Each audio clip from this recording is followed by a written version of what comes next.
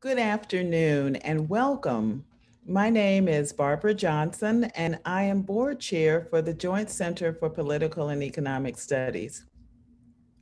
For those of you who are new to the Joint Center, the Joint Center for Political and Economic Studies, known as America's Black Think Tank, provides compelling and actionable policy solutions to eradicate persistent and evolving barriers to the full freedom of Black people in America. We are the trusted forum for leading experts and scholars to participate in major public policy debates and promote ideas that advance Black communities. Today, we are here to talk about the challenges and solutions to expanding broadband in the Black rural South and policy recommendations to expand home internet in the region.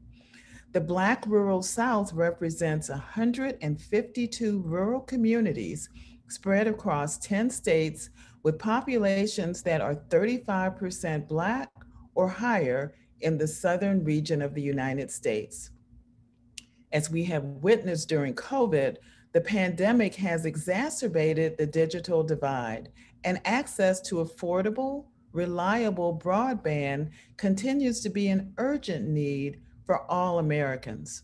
According to a recent Pew Research Center survey, Black and Hispanic adults in the United States remain less likely than white adults to say they own a traditional computer or have high speed internet at home.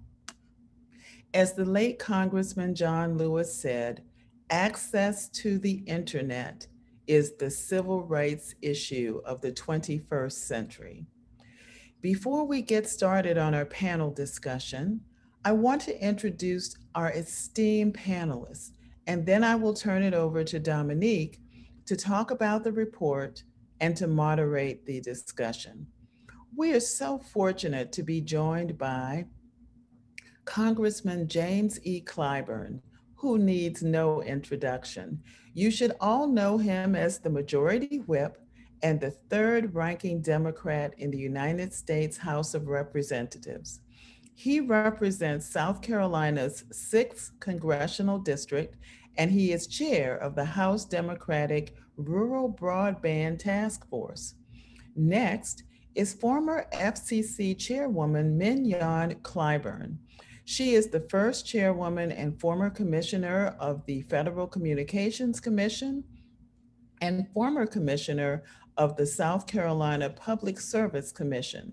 Currently, she is an independent consultant and principal of MLC Strategies, where she provides strategic advice and critical solutions in the technology, media, telecommunications, and investor owned utility industries.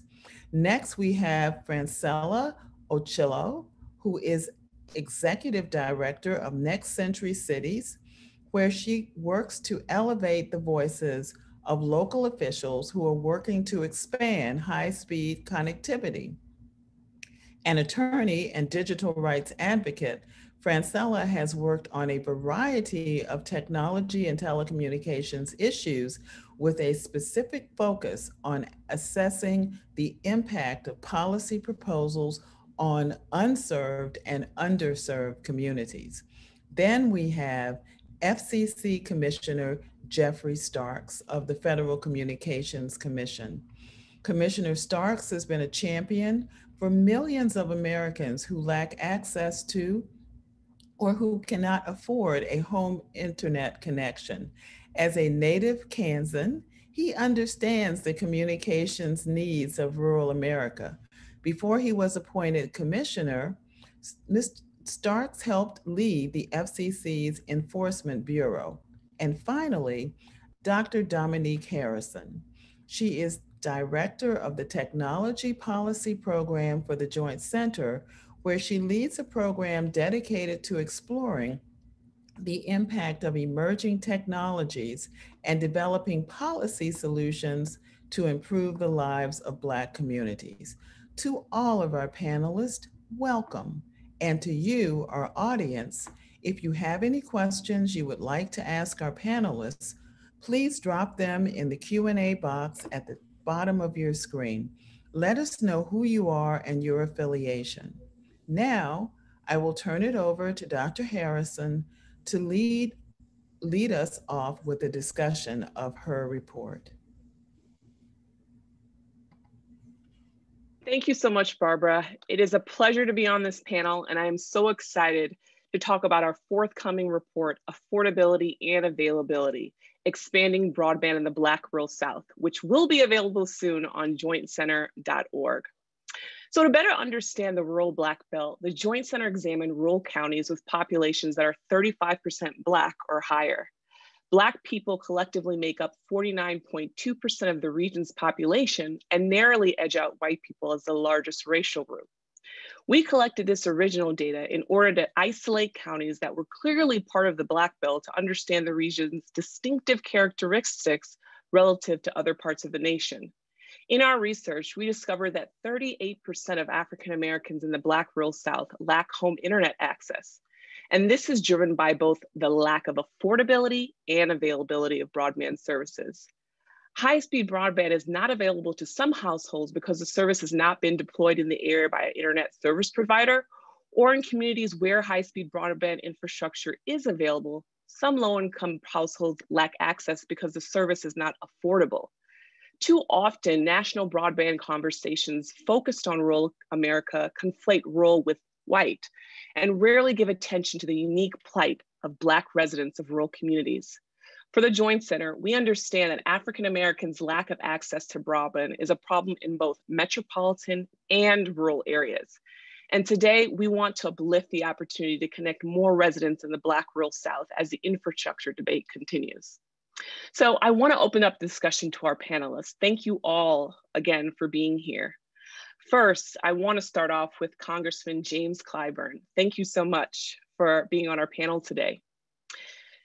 Congressman James Clyburn, can you give us a quick overview of what is happening with the bipartisan infrastructure package as it relates to investments for broadband expansion?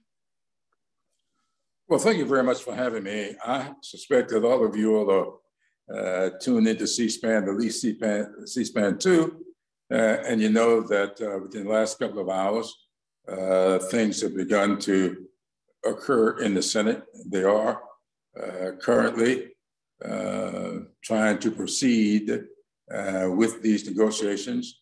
And that vote, I suspect, will be over soon and we'll know where they're going. But my activity has been to coordinate with the bipartisan group in the Senate uh, to make sure that whatever they do include what we have been pushing, uh, which we call the accessible, affordable broadband for all legislation. As you know, it's a $95 billion bill. Uh, Senator Amy Klobuchar has been moved, pushing that bill on the Senate side. We'll see uh, what they do with the bipartisan bill, uh, and then uh, we'll know uh, where to go from there. So if they were to proceed with the vote, I'm sure they got the votes to pass it. We'll see what's left on the table, so we'll know how to proceed with subsequent, subsequent legislation. Because as I understand it, the bill that they're voting on or that they may vote on, they're trying to get the deal on, is a $65 billion bill, uh, which is 30 billion short of where we think it ought to be. Thank you so much, Congressman. Um, in our report, we talk about the unique challenges facing Black communities in the Black rural South. When you think about your constituents, what are you hearing about the lack of broadband services in South Carolina? Look, as you can imagine, um, COVID 19 uh, reveals some significant, um, let's just say, significant disrepair uh, that exists. Some of you may have heard me say, I often talk about Alexis de Tocqueville's notion when he wrote his book, a two volume work, Democracy in America. And de Tocqueville said America is not great because it's more enlightened than any other nation, but rather because it has always been able to repair its faults. Well, some fault lines were opened with COVID-19 and no place is that more pronounced than in the lack of broadband.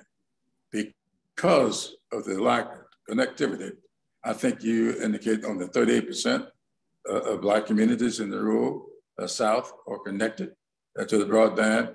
Well, uh, high-speed broadband is what is needed if we're going to have healthcare uh, to be effectively delivered. You cannot have good healthcare uh, without uh, telehealth and telemedicine. And I can tell you this, we in certain places in the South, we're gonna see our children lose a second year of school. There's a fourth surge now uh, coming about. It's in uh, basically uh, states like Louisiana and South Carolina and Georgia and Florida, uh, the southern states. And if that were to uh, happen, we'll see some children losing another year of school. And I need not tell you what happens to an eighth or ninth grader if they're out of school for two years. So we cannot have continued education for our young people, continued connection to education by them uh, without broadband. Broadband to me uh, is to the South today the electricity was in the 20th century. Thank you so much, Congressman, especially those important topics around education and health. I want to turn it over to Commissioner Geoffrey Starks. Commissioner Starks, millions of Americans don't have access to broadband, either because it's not available or they can't afford it. And this is the case for Black residents in the Black rural South. The emergency broadband benefit was developed to help families and households struggling to afford internet service during the COVID 19 pandemic, but it is only temporary. Can you share your perspectives on what lawmakers must address to expand low cost internet for low income Americans? Yes, well, uh, thank you, first of all, uh, for allowing me to be here uh, today. And of course, we're all watching the Olympics, and I feel like I'm on, on a great team here with this panel today. And so, um, honored to join this august group as well.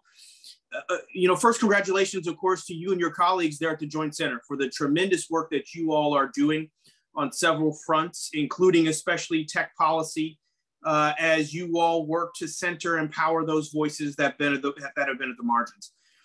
And the focus on broadband policy has never been more important.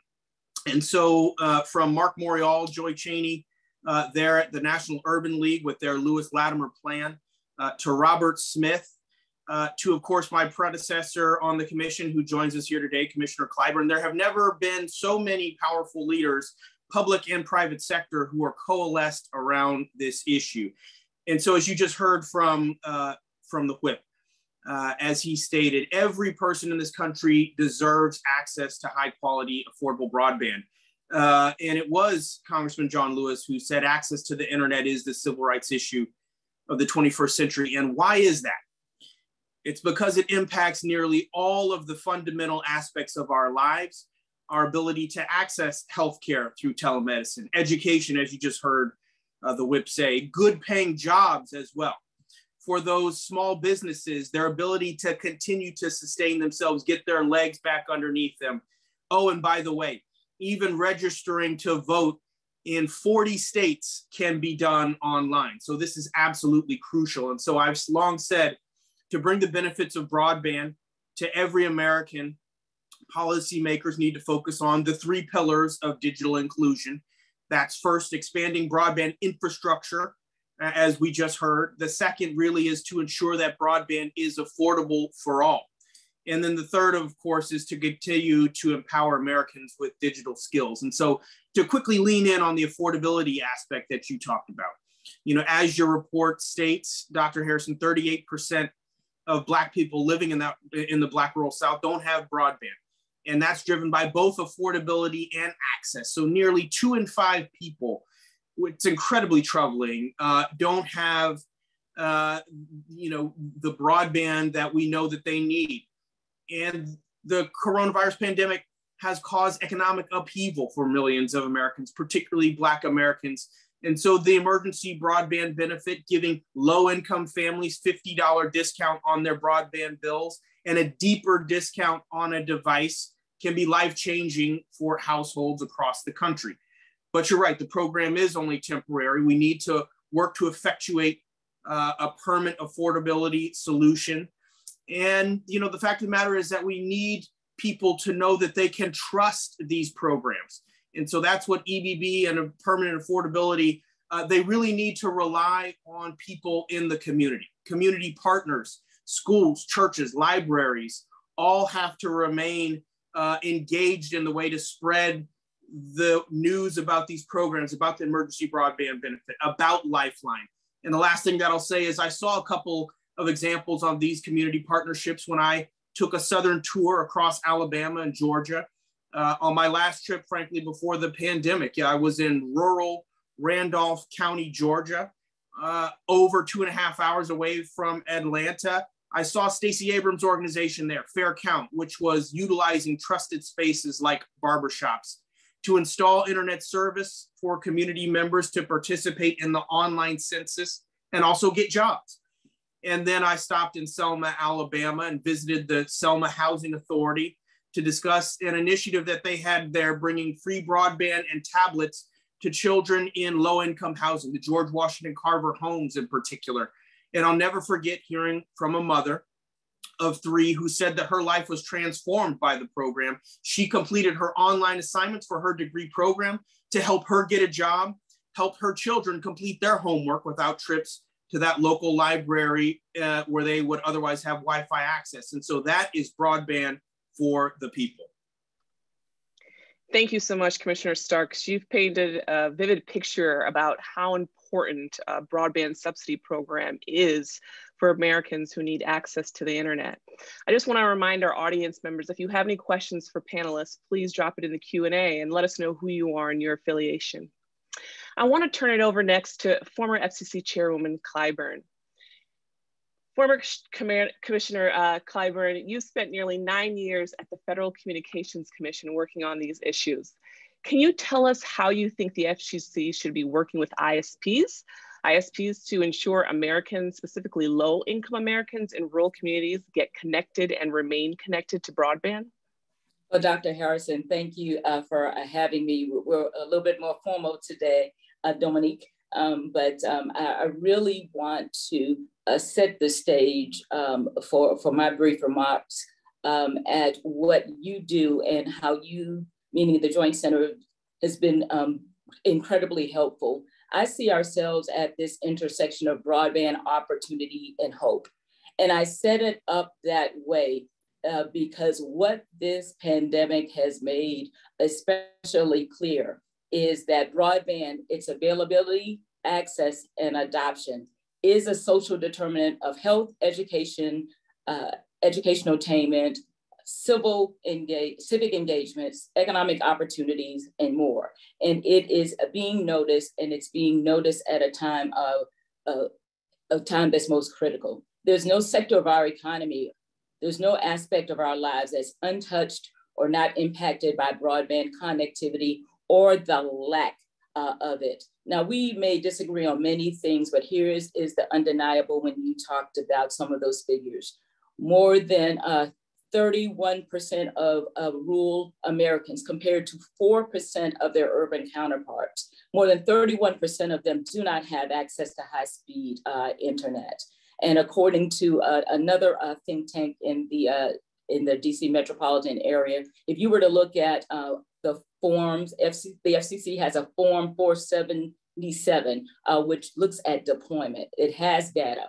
Um, and if we, they looked at back in 2014 and 27% of the pe of people of color lived in unserved areas or broadband deserts. Uh, and if you were to look at those broadband deserts, the lack of, um, uh, of availability of high speed or access to the internet, what you will find is about 33.8% of African Americans also live in poverty. So the issue is there is a direct uh, correlation. Um, this is a determinant of, of, a lot of critical, uh, you know, again, where we are uh, critically And so the FCC's mandate, I believe, is, is more important than ever before. And its mandate, for those who don't know it, is to ensure that advanced telecommunication services are being deployed to every one of us, regardless of where we live or how much money we make, in a reasonable and timely fashion. Um, too many of our areas have been shortchanged. So here is, is what I believe.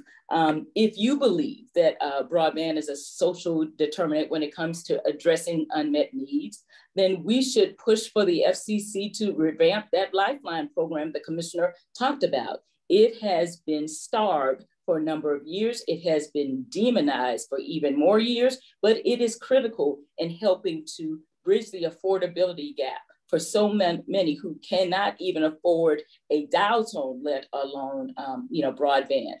Because what is clear, um, even though a lot of us are for are uh, proponents of the emergency broadband benefit becoming permanent, there is no guarantee.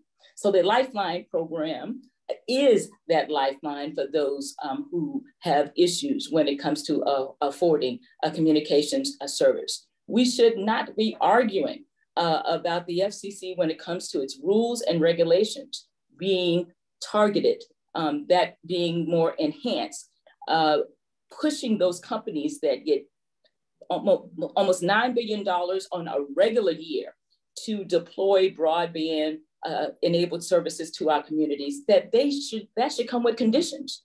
Um, our goals and objectives when it comes to connect, connecting our communities with fast, reliable, affordable broadband service, you know that should be a part of the equation before you get the next dollar. The FCC should work closely, uh, more closely with uh, other agencies like HUD HHS or the FERC because they're attempting to narrow gaps too. And so the, the bottom line is there's no sector of our economy, including government, including the needs of people, um, that cannot be enhanced uh, with safe, reliable, fast, affordable uh, broadband services. So strengthening these partnerships, both state, local, uh, government, uh, philanthropic, uh, amplifying uh, the refrain for competition in our communities because too many of our communities have two or fewer broadband providers and we, there's two or fewer. That means there are fewer opportunities, higher costs, and, and, and, and fewer options. Uh, we should start at the auction design at the FCC, meaning who can participate uh, in these auctions where there could be yet another competitive provider that could offer the next greatest thing. Right now, the way it's set up, only the big guys um, have a, a, the, the best opportunity to win.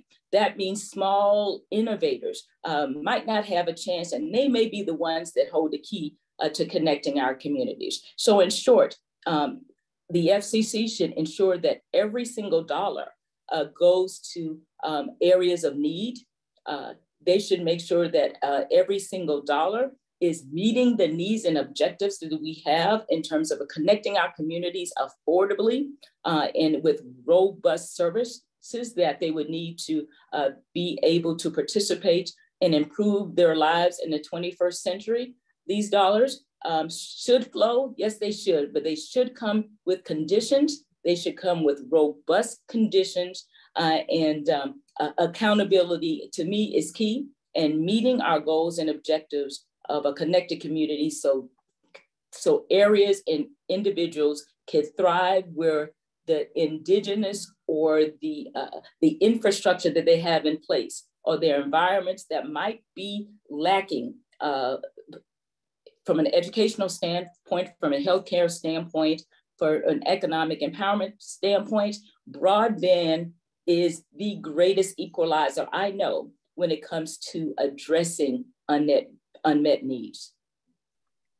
Thank you so much, um, Commissioner Clyburn. You've brought up a lot of important topics and especially issues around um, economic well-being. I mean, you're from South Carolina and clearly you are very passionate about the challenges and opportunities for rural residents. I'm wondering if you can just provide some insight uh, about what economic opportunities exist in connecting more Black rural communities to broadband.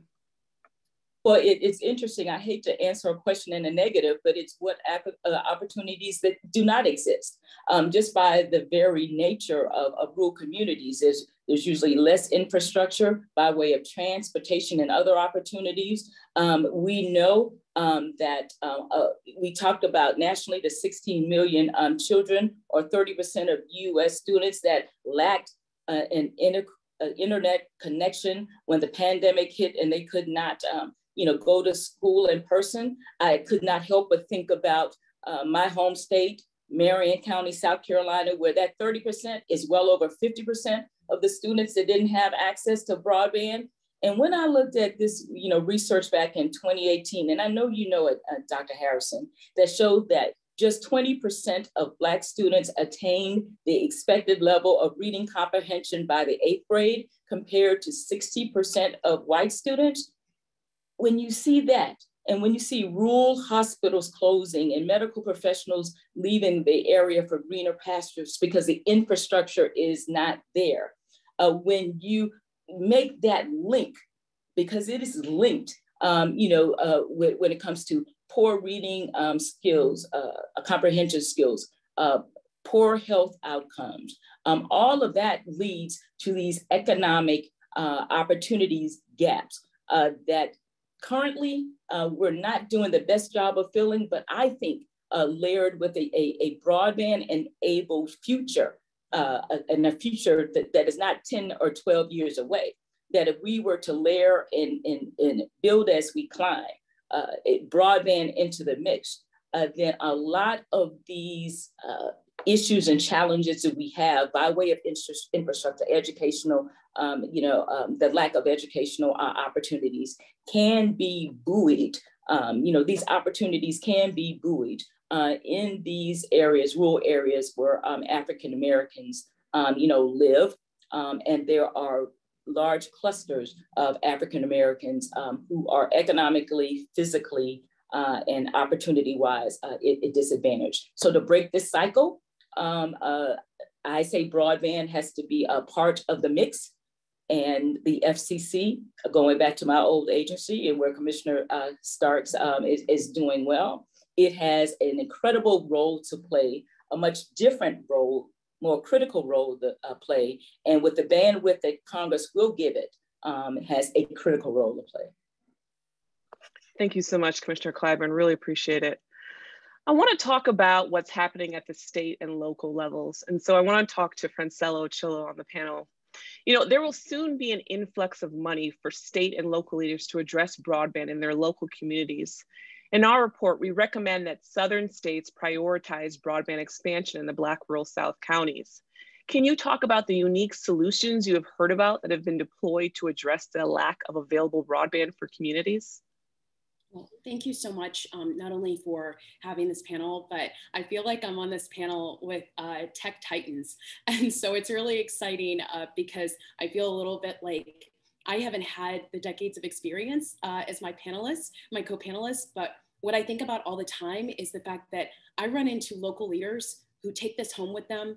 It's at church with them, it's at their kids' schools, it's an issue that they can't run away from.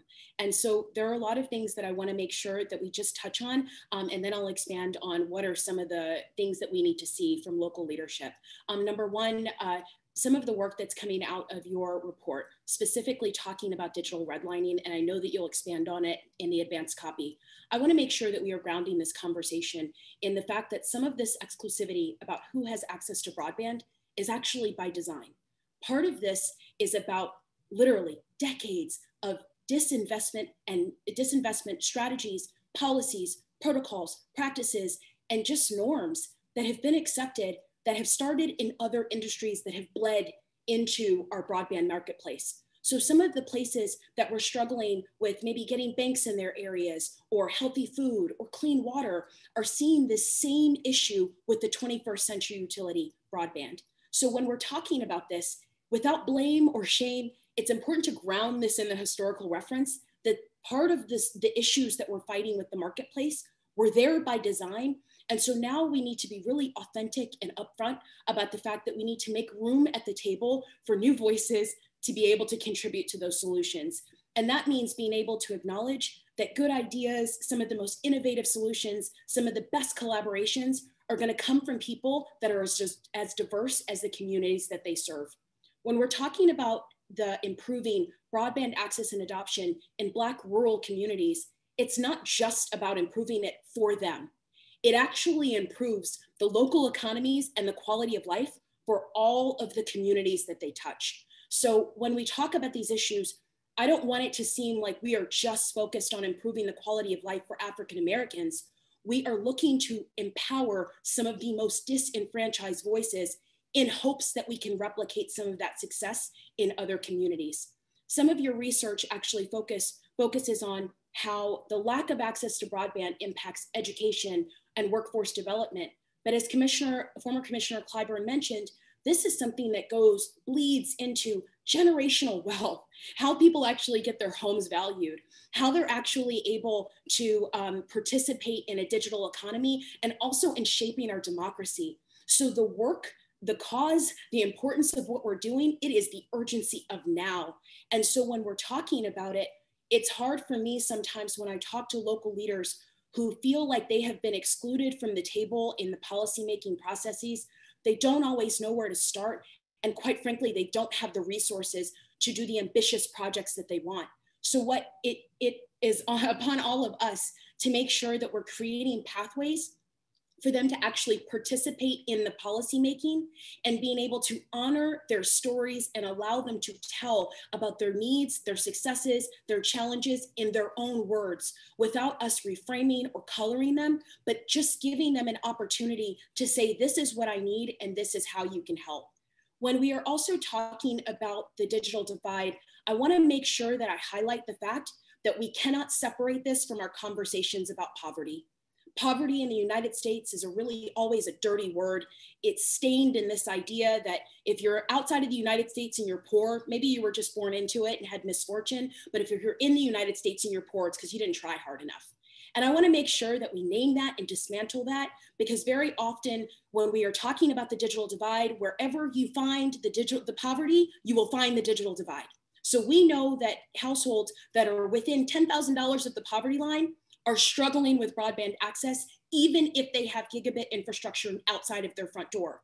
So what are we doing to make sure that they not only get that first subscription and hold on to it during the promotional time, but that they are able to maintain it, a robust and reliable connection in a sustainable way, and that they also have the digital preparedness and the generational digital literacy in their homes to be able to use those computing devices.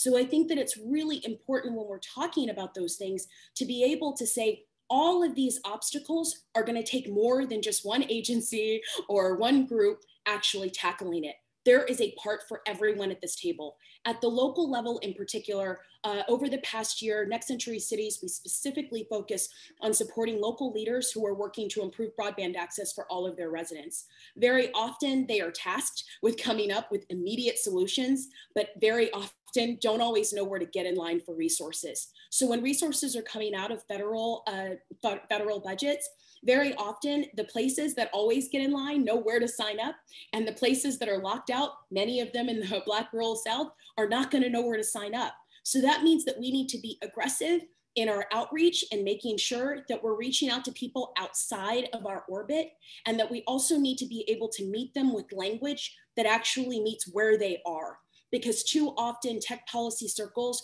are actually designed to be exclusive by saying that you don't have enough tenure or you didn't get anointed by the right group to be blessed with good ideas. And what we need to be able to acknowledge is that there are brilliant solutions happening across the country that are far outside of Washington, DC. The Merit Consortium in Michigan is a great example of where you have scholarship, local grit, and also local leaders who are working together to create broadband solutions. In Washington, of the state of Washington, you actually have in uh, Mount Vernon, you have a mayor who actually has signed up to give other mayors support when they are coming up with their own broadband plans. In Chula Vista, California, they just launched one of the first of its kind digital equity plans, and actually the other municipalities around them were reaching out for advice. So what we know is that when you have local leaders and community leaders that are empowered, that is something that is contagious and it touches everyone outside of their region. Great example of that, look at Lafayette, Louisiana.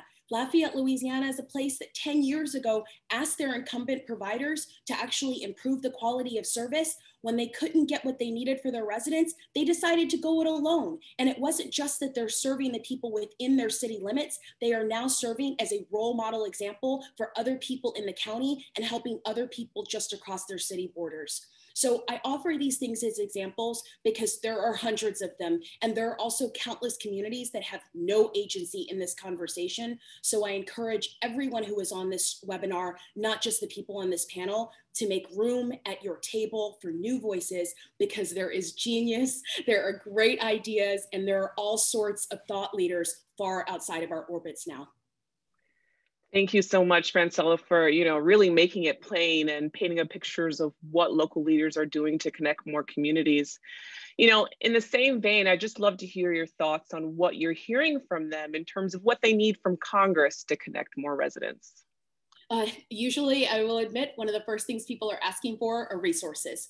Um, that is something that unequivocally um, municipalities do not have the resources to launch the types of programs that they uh, that they need. One of the things that we do encourage local leaders as they are starting their broadband plans to make sure that their financial uh, assessments are not only just capturing what falls into a balance sheet, but we're actually thinking about the human capital and the potential partnerships that exist in their area. During COVID in particular, we have a host of local leaders that actually partnered with uh, local providers of all sizes, large, medium, and small, to extend broadband to communities that were either hard to reach or maybe that were um, historically unserved completely.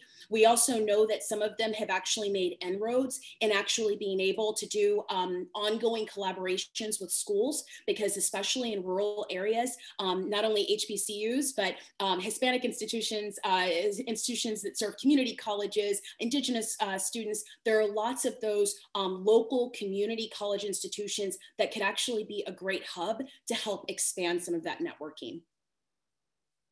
Thank you so much. Actually, in the larger report, we do talk about the importance of HBCUs, and I'm very excited to you know, see the ways in which they will partner with local community organizations and Black nonprofits to provide more broadband services and training programs um, for their local community. I want to turn it back over to Commissioner Starks. Um, you know, in our report, we make a recommendation based upon your idea to require providers that receive universal service funds to provide consumers with an affordable option. Can you share more about the importance of this proposal? Yes, it's a great question. Uh, and again, you have to start with the premise that we need to solve a suite of challenges to bring connectivity uh, to folks that find themselves unconnected. Uh, and in particular, with regard to rural areas that we're talking about here today. And so, you know, I was uh, gobsmacked uh, upon careful study that when we at the FCC pay billions of dollars through our high cost universal service fund to subsidize providers to bring connectivity to areas where the business case won't otherwise do it, that we weren't ensuring that low income folks there were specifically provided for in those build out plans. And so, again, you know, I don't have to tell this audience uh, that you can be both poor and rural. And so it makes plain sense. Uh, if the government is going to pay to bring the internet to your community, then it should benefit all the folks in your community and not just the well off. And so I propose that we require, mandate that providers that receive Universal Service Fund high cost funding provide consumers with an affordable option. Uh, and so this proposal was included in the Accessible Affordable Internet for All Act, led by uh, Whip Clyburn and Senator Klobuchar, as we've heard about. Uh, and, and, I'm hopeful that it will make its way into some of the final infrastructure legislation. Uh, but if I can, uh, very briefly, you know, flag, as you mentioned, uh, the importance of HBCUs and, and funding those that seek broadband access, adoption, digital literacy for them and their surrounding communities. And I cannot footstomp enough that proposal. You know, I visited Alabama State University last year, saw that HBCUs can be true partners in bridging the digital divide in the Black rural South you know, I hosted in a, a number of roundtable discussions with HBCU presidents Uh, and in fact, Dr. Harrison, you helped facilitate some of the uh, one of the one of those conversations. It's mission critical uh, that the FCC and all of us hear from the Clark Atlanta universities, Tennessee State, North Carolina A&T, Delaware State. I heard from Howard University, uh, and and next time, of course, Mr. Clyburn will try to get South Carolina State uh, in there as well. But really, the point is that we're reminded that HBCUs, of course, are unique institutions, play powerful roles in their community and will be vital in achieving our goal of bridging uh, the, unit, the, the digital divide and not only for their students, but across the Black rural South, where of course many of those HBCUs uh, are located. Thank you so much, Commissioner Starks. Really appreciate your comments on HBCUs and their importance. Um, I also want to turn it back over to former Commissioner um, Mignon Clyburn. You are also an advocate for greater broadband access and more competition. Can you talk to us about the importance of competition in this entire discussion? I wish I could say to you that um, what I'm about to, to affirm to uh, many is just a rural or an urban problem. But I have seen figures as high as 40% uh, of, of, communities. And, and I've heard from, you know, people who got, uh, who live and, and, and have pretty um, expensive homes in pretty urban communities, like parts of DC, where they have few, two or fewer options by way of a, a broadband provider. And two is not competition. One is a monopoly, and zero, you're stuck. Um, and so, why we talk about competition a lot as a fuel, uh, as an enabler for opportunities, because uh, where you see competition, you see lower prices, you see higher speeds, uh, you see more product differentiation and, and services. Uh, and, and, so uh, when you have that in the mix, when you've got people competing for business, uh, they bring their A games.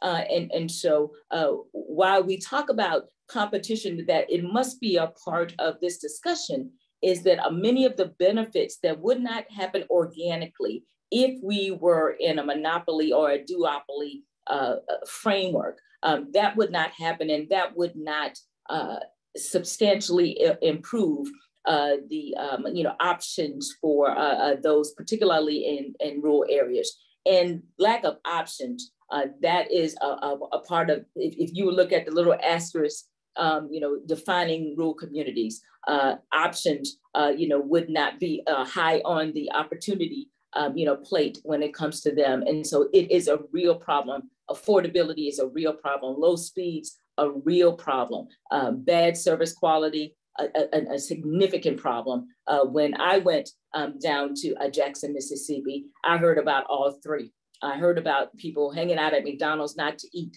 uh, but that was their only affordable, reliable option uh, to do their homework and to fill out that job application. So we've got uh, a, a lot of work to do, and competition has to be a part of the enabling mix, both from a legislative and from a regulatory point of view.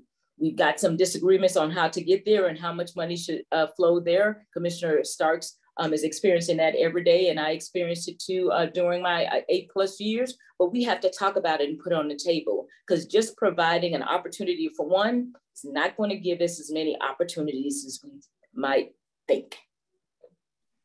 Thank you so much, um, Commissioner Clyburn. Um, as we note in our report, research from the Free Press shows that you know, as communities get higher percentage of African Americans in their population, they're more likely to have one internet service provider.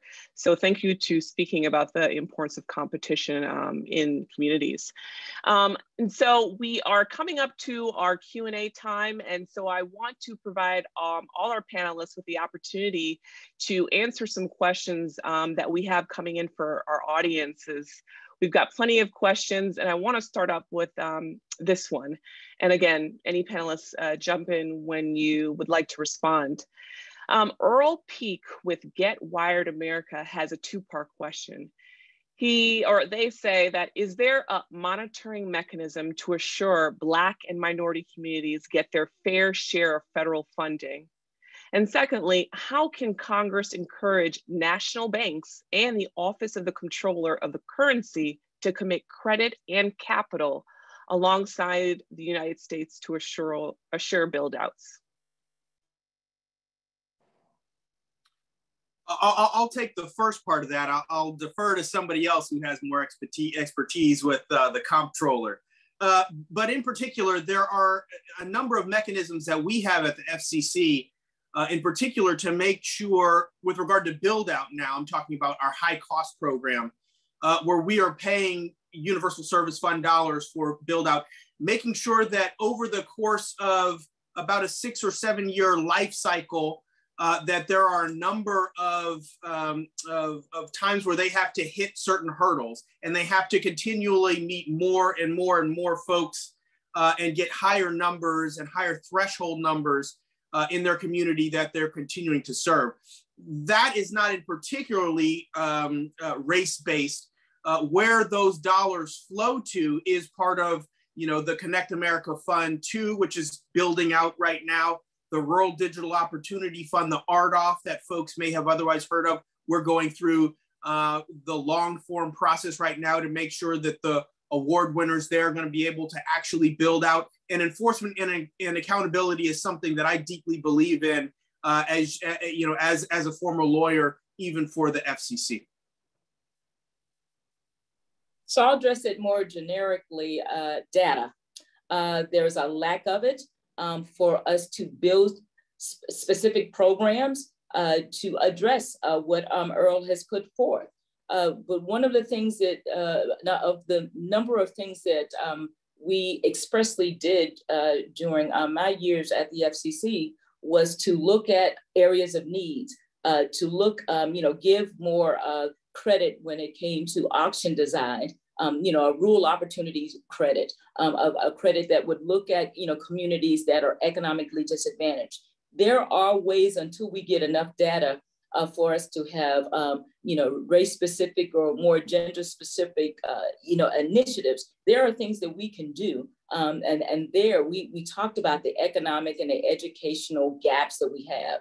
There are creative ways that we can come up with um, that will move the needle uh, in um, communities uh, of color, particularly in, in, rural communities. If we look at, look at, you know, Francella, you know, mentioned the long-standing uh, opportunities devised as long-standing issues of, um, you know, disproportionate uh, rates by way of poverty and, and, you know educational attainment and um, uh, economic opportunities and civic engagement. Um, there are ways that we can address those ills, if you allow me to put you know, that label on it in creative ways uh, through agencies, through programs, through uh, uh, through banks, uh, through CRAs. When's the last time we talked about CRAs? You know, uh, you know, these are some things that can be, you know, collectively done if we coordinate and if we really define uh, public-private partnerships, three P- P3s in different ways to really get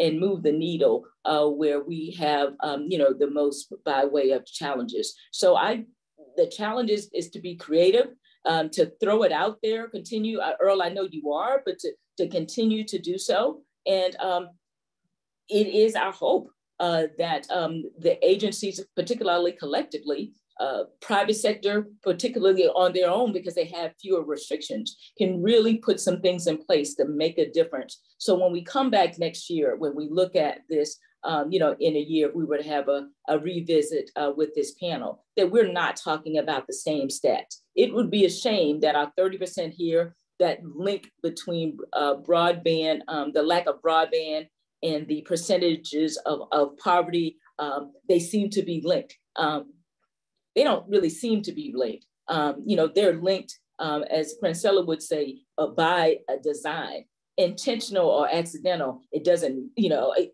that, that's not the issue here. It is a problem that we must proactively address. Thank you so much, especially bringing back up the idea of poverty. Uh, you know, Omar Woodard had asked uh, of the panelists, how can we build the capacity of county governments, especially persistent poverty counties and rural areas to do this work? I could chime in here, I think it's really important, um, number one, to acknowledge the power of counties. Um, counties have an extreme amount of power when it comes to economic development and basically being able to decide what's happening on the uh, municipalities within. Um, and also, you know, when we're thinking about broadband programs that are designed, uh, whether they're in Congress, whether it's the ideation in the White House, or whether it's in a state, you know, a governor's office, we need to make sure that county leaders are actually a part of that discussion. Very often, local and county leaders are included as an afterthought. They're actually usually just notified about an RFP or an RFI. We're just letting you know that this money and this is how it's going to go.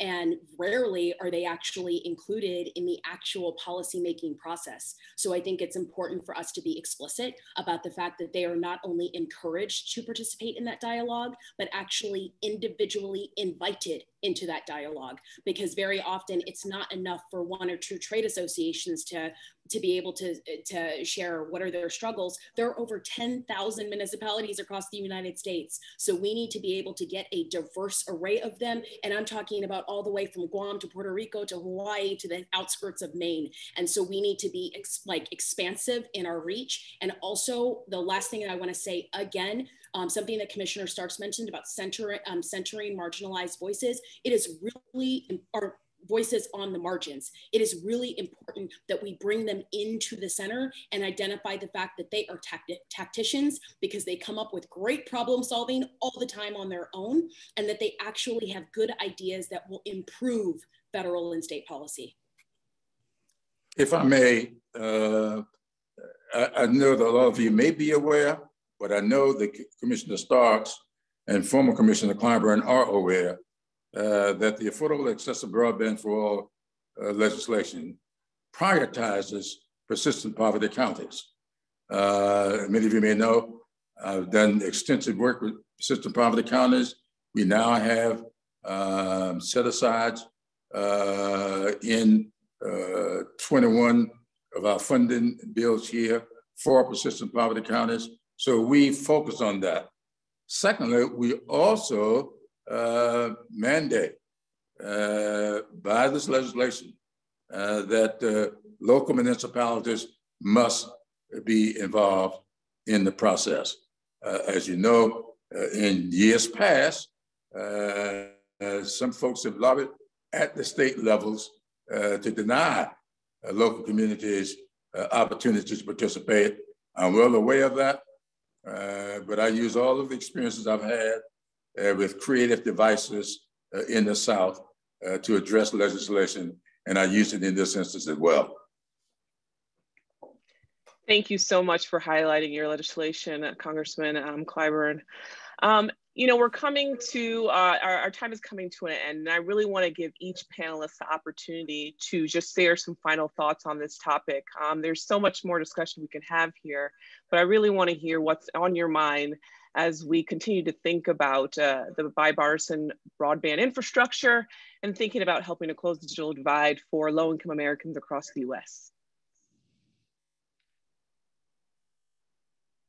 Uh, I'll, well, I'll, go first. At, oh, oh, go ahead, uh, Mr. Clyburn. well, so that I can get off here and do something else. Thank you guys uh, so much for having me. As you can imagine, uh, things are pretty active here uh, with the Senate trying uh, to wait until the last minute. The House is trying to go home this week. So I am a, a bit busy with some things, but thank you so much for having me. And I'm always pleased to be on with FCC commissioners, present and past, because uh, I don't find myself uh, at a loss to disagree with them uh, pretty often. Thank you guys for letting me be here. Thank you, Congressman. Well, uh, from um, one one Clyburn to another, you know, my, you know, one of the things that um, is clear, uh, and and I mentioned that broadband is a social determinant uh, for many of the challenges um, we have today or the lack thereof. So if we're going to seriously work on breaking this persistent cycle of unrealized opportunities, we must demand certain things. Uh, we must demand accountability from those the FCC funds. We must demand accountability from state and local uh, leaders that are going to have and will continue to get uh, appropriated money uh, from Congress to make sure that money is more evenly spent because newsflash, uh, monies have not been evenly spent um, and opportunities have not been evenly realized. And those, uh, that perpetuation uh, seems to happen uh, miraculously in the same places. So uh, again, the demands are great, um, but necessary on us to uh, demand high speeds, high quality, reliability, affordability, and inclusive opportunities because we can talk about and have named a lot of the critical challenges that we have. They're evident. They became more evident uh, during uh, the, you know, this uh, pandemic, th this process. But we're at a unique inflection point where the opportunities are great and leveraging technology and ensuring a more ubiquitous broadband opportunities that are reachable that are affordable, that are widely available is the key. Uh, that, that, that verb might have should have been, you know, uh, but all of that collectively, they're the key, um, you know, to realizing opportunities and realizing them more quickly. That I believe um, is the difference that, um, you know, the last, uh, you know, pandemic, 100 plus years ago, we did not have what we have now. We've learned a lot from that. We need to put those lessons in place in order for us to uh, address these issues, bridge these divides, and expand the opportunity for Horizon uh, through technology. We won't get there quickly without it. Yeah, I would say quickly, um, and it uh, springboards on something that Commissioner Clyburn mentioned as well, and something that I have been speaking about for a while, and something that I'm working on daily here is that we need to make sure, especially for the struggling households that we know have really been hurt through the pandemic, we need to have a whole of government approach to making sure uh, that they are able to get to the suite of, of services that we have for households that are struggling. And so if you are having food insecurity, you are likely having digital insecurity. And so, uh, you know, we need to join with HUD. We need to join with USDA, which controls SNAP. Uh, we need to join with all of our sister agencies and make sure that if you are a part of a struggling household, you don't have to knock on every door in order to get the help that you need. We know that uh, millions of families have recently signed up for SNAP in order to make sure that they have food on the table. We should also be able to get them uh, the connectivity that we know that they all need. And lastly, Francella, do you have any um, last remarks? I'm so thankful for the work uh, all of these panelists and specifically at Joint Center keep doing that research. I hope that all of the people who watch this online, especially the people who um, are not often invited into the circle, that there are more people that are more diverse and more good ideas being in, um, basically injected into this conversation. I appreciate you all so much. Again, this conversation deserves so much more discussion, but we want to be respectful of everyone's time. And our time together is has come to an end. And I want to say thank you so much to our panelists, Congressman James Clyburn, um, uh, Francella Ochillo, FCC Commissioner Geoffrey Starks, and former FCC Chairwoman Mignon Clyburn. I want to tell our audience thank you so much for being here as well please check out our forthcoming report, Affordability and Availability, Expanding, Expanding Broadband in the Black Rural South, which you will find online at jointcenter.org. Thank you for everyone for tuning in.